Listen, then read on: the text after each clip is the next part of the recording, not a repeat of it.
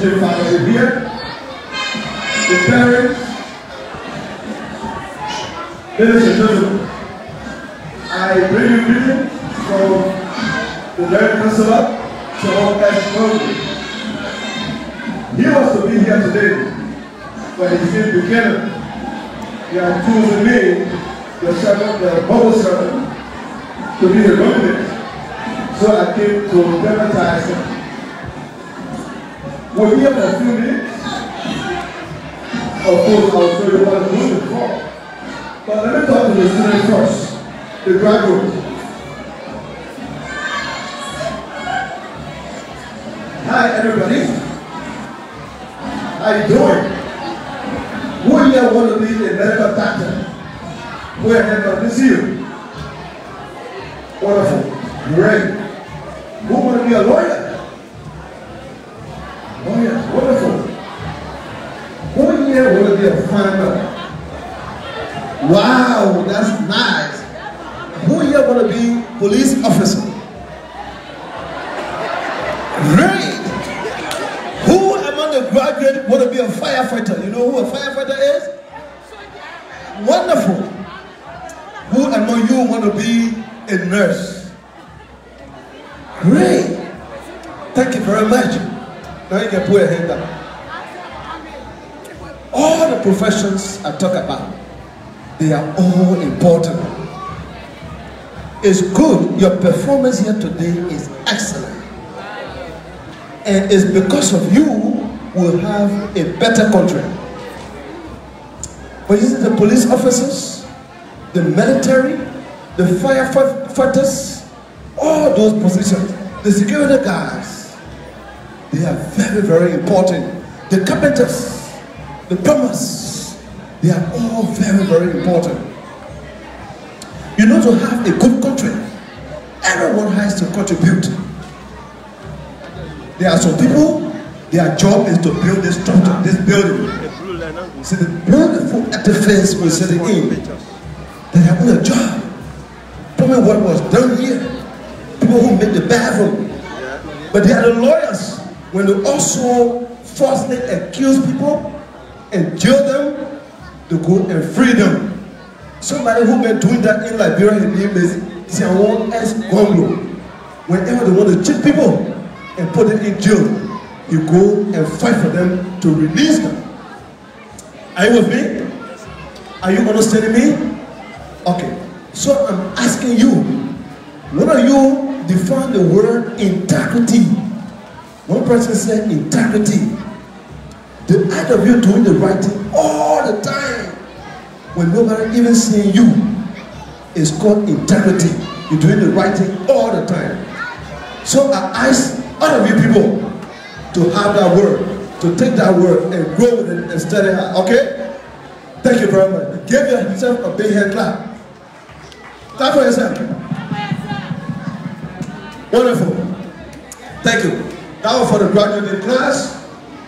You know, as I said, they're going to be the future leaders. Ladies and gentlemen, the young lady who ran our story, I want to say thank you. It was a long reading, but you did well. The intention is to tell you who I am. You know, God is great. He is wonderful. As you heard in that story, 1981, I born December 24. I did not have any education until 1995. I remember clearly 1989 telling my father I wanted to go to school. He said next year I'll finish no school here, I'll send you to another town called Joa. In Joa, you'll go to school with my friend. But 1990 the war came and everything went bad. Soldiers, rebels, almost three different times. I and all my brothers were arrested to go fight. We were conscripted. But each time we ran away and went. We did not want to be soldiers. Finally, in 1995, I I started school at the age of 13 years, 8 months. And you know the rest of the story. I think the story here is to tell you if you are here listening, you are not too old to learn. When you are determined, God can help you. Ten years later, I will graduate from high school. And not ten years later, I get a bachelor's degree, two master's degree, and a PhD.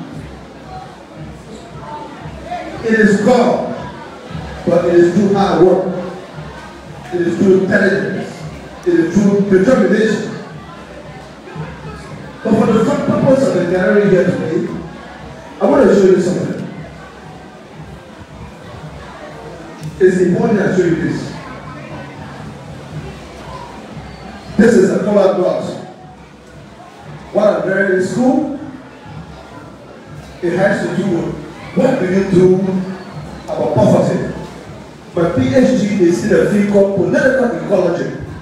In that field, we study the root causes of poverty and what we can do about it. So pay attention to just a color. This color knot is the resource of the country. Take this color knot to be the diamond, the gold, the dreams, the water, even the thing.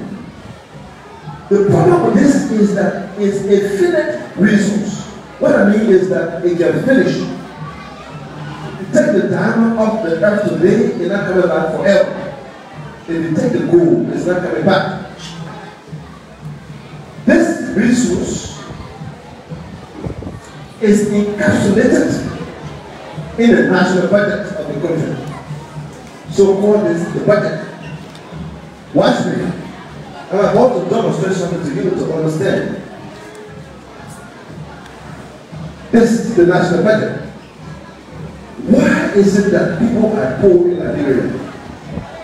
Why is it that people don't have jobs? Why is it that we are not able to send our kids to school? Why is it that we don't have effective school systems? Why is it we don't have good roads? What happened. If you study the budget historically and even today, the president and his office must be. That's the one the president is eating.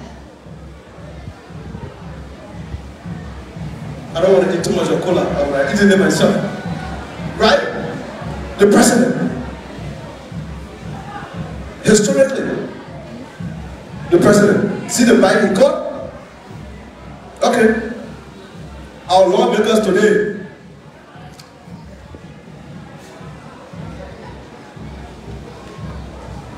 Are you with me?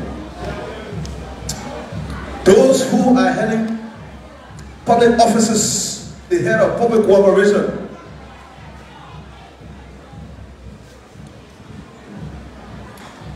So, the budget. Tell me what is left. When the officials are eating it this way, are you with me? What is left to build schools? What is left to build hospitals and provide drugs? What is left to take the vulnerable youth from the streets, the one you call Zopos today? Now you see the reason why, right? The one that is left is so small. And that's why when you go to government offices, people are sitting on smartphone the whole day because they don't have any work to do. They are taking pay, sometimes very small pay, at least the civil servant, but no job because for them to work, they need logistics to work. What is left to pay the police officers or the military? Is impoverished because the resources are going in the pocket of few individuals. Now you see the reason why people want to get into government. Some of them even go as far as getting, having blood on their hands because they want to get into government. Because government is considered to be area of wealth creation. Government is the place now to enrich ourselves at the detriment of the masses. Are you with me? But something that little one, something going to happen. During election time, they come back again in government.